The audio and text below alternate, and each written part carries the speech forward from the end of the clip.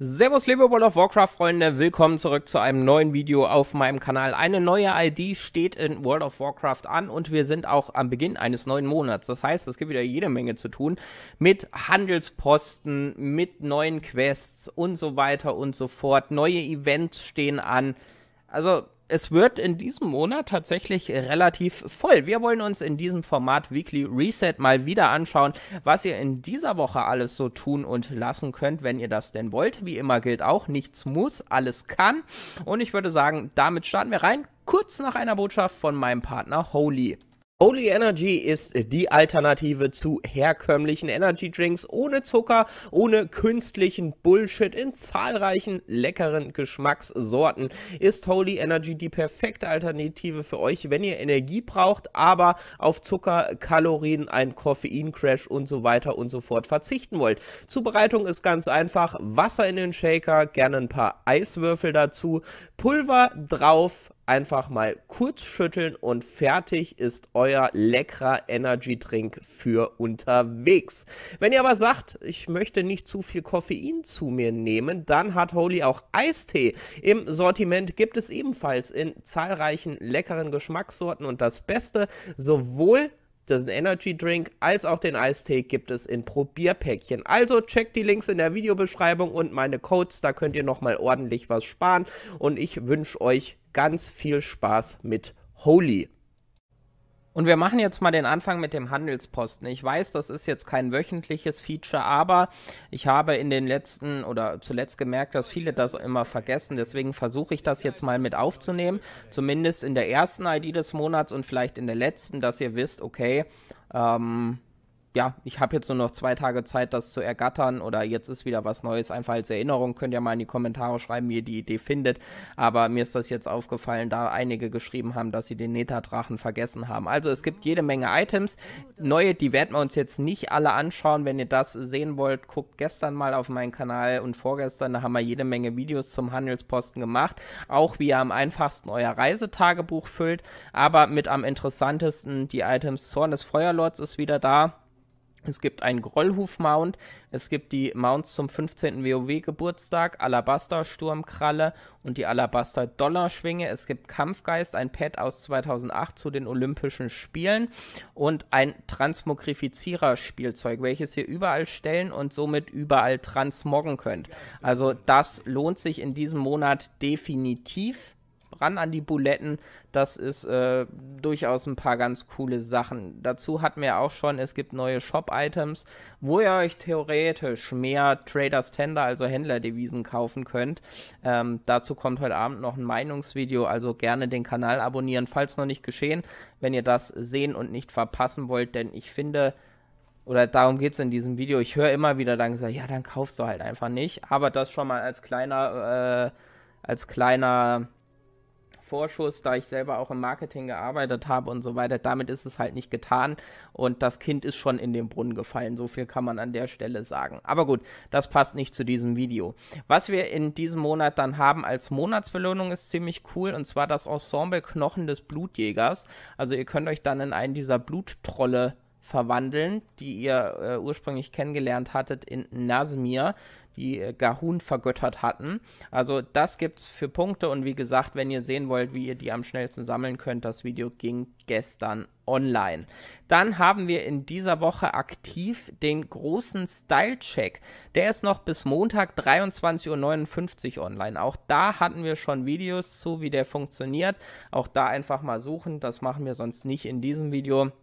Aber vereinfacht gesagt, ihr könnt euch bei einem Transmogrifizierer in einer der größeren Städte dafür anmelden. Ihr kommt da rein mit fünf anderen Spielern, ihr bekommt ein Thema vorgegeben, müsst euren Chart dementsprechend moggen. Am Ende stimmen die Spieler ab, wer gewonnen hat. Dadurch bekommt ihr Marken des großen Style-Checks und von denen könnt ihr euch dann verschiedene Items kaufen, wie Transmog-Sets, wie Stiefel und so weiter und so fort, Mützen. Also, ja, die Belohnungen sehen leider nicht ganz so cool aus, teilweise, aber das Event ist ganz nett. Und auch darüber gibt es relativ viel für den Handelsposten für euer Reisetagebuch zu ergattern. Also wenn ihr da Bock drauf habt, könnt ihr das sehr gerne machen. Wir haben noch den Dunkelmond-Jahrmarkt bis Sonntagmorgen. ähm, oder Sonntagnacht viel eher, 0 Uhr 1. Sage ich deshalb, weil ihr da halt wieder die Möglichkeit habt, wenn ihr da hingeht, 10% mehr EP beim Leveln, 10% mehr Ruf für alle Fraktionen und so weiter und so fort. Also das könnt ihr aktuell noch ausnutzen. Haben wir auch schon in Videos ein paar Mal gezeigt, wie ihr den Buff bekommt. Geht einfach auf den Jahrmarkt, so mittendrin auf der rechten Seite ist ein Karussell, fahrt damit und dann kriegt ihr den Buff. Das waren jetzt so die Weekly-Ereignisse, die wir aktuell haben. Dazu ist gerade das klassische Ashran aktiv. Ähm, da kann ich euch sagen, weil ich jetzt auch gefragt wurde, wie es den Titel gab, Geisel der Kaldorei. Ähm, das hängt mit eben jenem Ashran zusammen. Kurzer Exkurs dazu. Wer da Bock drauf hat, das ist ein ziemlicher Grind. Aber die Titel sind ziemlich einzigartig und ich würde mal behaupten, die haben nicht so viele. Das ist zurückzuführen auf Warlords of Draenor. Hier ist Ashran. Das war so ein Gebiet 40 gegen 40 Open World PvP mehr oder weniger. Ihr konntet in eurer eigenen Garnison hier ein Heiligtum des Gladiators bauen. Wenn ihr das auf Rang 3 hattet, konntet ihr Quests auswählen für jedes der gegnerischen Völker, ähm, wo ihr dann die Aufgabe bekommen habt, 500, in dem Fall Geisel der Kaldoreise Nachtelfen, töten. Der Vorteil war, wenn man das in Ashran gemacht hatte. Das musste entweder in der Open World oder in Ashran passieren. Also im Battleground ging nicht. Es musste in Warlords of Draenor Gebiet sein. Der Vorteil in Ashran war, wenn ihr in einer Gruppe wart, und das wart ihr zwangsläufig in dem 40-Mann-Schlachtzug, und alle Spieler hatten diese Quest, also maximal fünf, habt ihr diese Kills mal fünf angerechnet bekommen. Ich wusste das damals leider nicht, deswegen ich habe es auf die harte Tour gefarmt. Ähm, aber ja, 500 Leute killen und das geht halt in diesem klassischen Ashran am besten. Da habt ihr wirklich die Möglichkeit, euch gerade einen richtig seltenen oder richtig seltene Titel zu farmen. Da gibt es die ganze Zeit nur auf die Mütze, steht auch dran, nach Schlacht nimmt niemals ein Ende. Also da geht es wirklich nur ums Zergen und deswegen geht das da so gut. Ich kann jetzt mal schauen. Garnison, hier seht ihr das Ganze. Ähm, Heiligtum des Gladiators, Geisel der Kaldorei. Das ist das mit den Nachtelfen. Äh, und das Ganze habe ich, glaube ich, noch einmal mit Menschen gemacht. Ja, hier Menschentöter habe ich am Start. Dann gibt es für Hordespieler Zwergenhenker, glaube ich, Drenai-Vernichter, Gnomenschreck, Worgenjäger und Terror der Tushui. Und wenn ihr alle diese Titel habt, gibt es Kriegsherr von Drenor. Also es ist super, super viel Grind, aber ähm, Gerade geht das am besten, wenn ihr da Bock drauf habt. Dann gucken wir uns Mythisch Plus an, wo wir schon bei wöchentlichen Sachen sind. Und da fällt mir auf, ich habe gerade absolut keinen Key am Start. Ähm, fantastisch. Äh, so, jetzt haben wir einen am Start. Und zwar diese Woche die Affixe sind tyrannisch, unkörperlich, boshaft. Ich habe ja schon ein paar Mal gesagt, ich bin kein Freund von diesen neuen Affixen, wenn ich ehrlich bin. Mh, hm, unkörperlich ist das war, glaube ich, das Ding, wo ihr die ganze Zeit kicken musstet, aber ihr konntet die Sachen halt auch CCen. Also nehmt einen Spieler mit, der ein HCC am Start hat. Ähm, mittlerweile kann das jede Klasse als Druide beispielsweise überwintern, äh, schiepen, die Eisfalle vom Hunter, blenden vom Schurke und, und, und. Es geht so viel packt das auf diese Ads und dann seid ihr eigentlich auf der sicheren Seite. Dazu kommen dann halt noch die ganze Zeit so wöchentliche Ereignisse, die ihr machen solltet in dieser Woche, wie die Belagerung der Drachenfluchfestung, wenn ihr noch Ruf braucht. Ihr könnt den Angriff von Firek machen mit neuen Chars, wenn ihr da noch Gear benötigt. Ähm, was ich auf jeden Fall machen würde, wenn ihr noch nie so super Gear habt, in der Zaralek-Höhle diese Weekly-Quests mit den Niffen von Loam. World Boss ist natürlich auch wieder am Start und droppt aktuell auch wieder Loot. Die ältesten Sakali, also das meine ich mit diesen ganzen Weekly-Events. Wenn ihr da noch was benötigt, ähm, dann lohnt es sich auf jeden Fall, diese Sachen zu machen. Und halt auch mit dem neuesten Patch, die Zeitrisse sind ebenfalls nicht so schlecht. Da ist sogar gerade einer aktiv. Also, wenn ihr da noch Belohnungen haben wollt, da gibt es ja auch Catch-Up-Gear. Und äh, einmal pro Woche könnt ihr euch da mit Sicherheit ein T-Set-Teil holen. Das solltet ihr auf jeden Fall mitnehmen. Halt je nachdem, ähm, wie gut oder schlecht euer Char gerade ist. Das sind so die wichtigsten Weekly-Ereignisse, würde ich sagen. Dann werfen wir nochmal einen Blick auf Vergangenes Und natürlich, was ich jetzt nicht mehr so oft erwähne, hier kann für seine Belohnungen sich die PvP World oder Weekly Quests und so weiter und so fort. Weekly in dieser Woche ist noch die Arena ruft. Ihr seht's, durch Arena-Geplänkel erhaltene Ehre um 50% erhöht. Also wer noch ein bisschen Ehre und Schrägstrich ein klein wenig Eroberung braucht, kann das gerade ganz gut mit Arena-Geplänkeln tun. Ähm, das wäre der Part. Und dann werfen wir wie immer noch einen Blick in die alten Gebiete von World of Warcraft oder in die älteren. Wir wollen ja hier niemanden diskriminieren. Dünenschlinger Kraulok ist noch nicht aktiv. Dafür müssten wir jetzt den World Boss.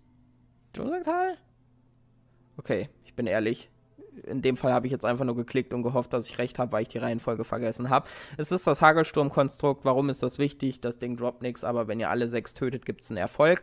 Dünenschlinger Kraulock für das Alpaka-Mount müsste in zwei bis drei Wochen wieder aktiv sein. Und, das habe ich ja letzte Woche schon angekündigt, wir haben diese Woche noch die Quest äh, Teuflische Fragmente, Archäologie hier aktiv. Die gibt nichts Besonderes, also da braucht ihr noch nichts machen. Aber ab nächster Woche könnt ihr euch schon mal vormerken weil das ist auch ein Grind, der dauert gut zwei bis drei Stunden. Ähm, deswegen sage ich es jetzt schon mal. Ab nächster Woche gibt es dieses Mount über die Archäologie Weekly in Dalaran zu ergattern. Geist von Ichero, ein spektraler Elch, der ist ziemlich cool, finde ich persönlich. Ähm, gibt es auch nur darüber und spektrale Mounts sind in WoW relativ selten. Ihr müsst nur Archäologie gelernt haben dafür. Also ihr müsst jetzt nicht vorher irgendwas farmen und es hat auch keine Auswirkung drauf, wie gut euer Archäologie-Skill ist, wie lange das dann dauert. Also ihr müsstet jetzt eigentlich nur lernen, wenn es dann auf 1 ist. Ähm, könnt ihr nächste Woche die Weekly Quest machen und äh, genauso Fortschritt sammeln, als wenn euer Skill jetzt auf äh, 500, 600 wäre. Aber wie gesagt, man muss ein bisschen farmen. Das ist jetzt nicht so super nice, aber wenn ihr ein bisschen was nebenbei macht, ähm, ihr habt für diesen Grind dann zwei Wochen Zeit, dann würde ich sagen, geht das schon. Ähm, und was ich noch vergessen habe zu erwähnen zu den Time Rifts, deswegen äumel ich hier gerade hier rum. Ähm, da hatten wir auch neulich ein Video zu, findet ihr auch auf meiner Website g6gaming.com.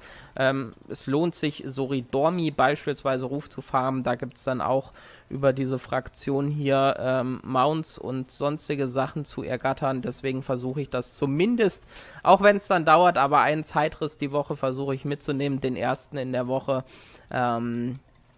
Ist nicht super effektiv, aber besser als gar nichts machen, sagen wir es mal so. Also ihr seht, es gibt eigentlich relativ viel zu tun in World of Warcraft.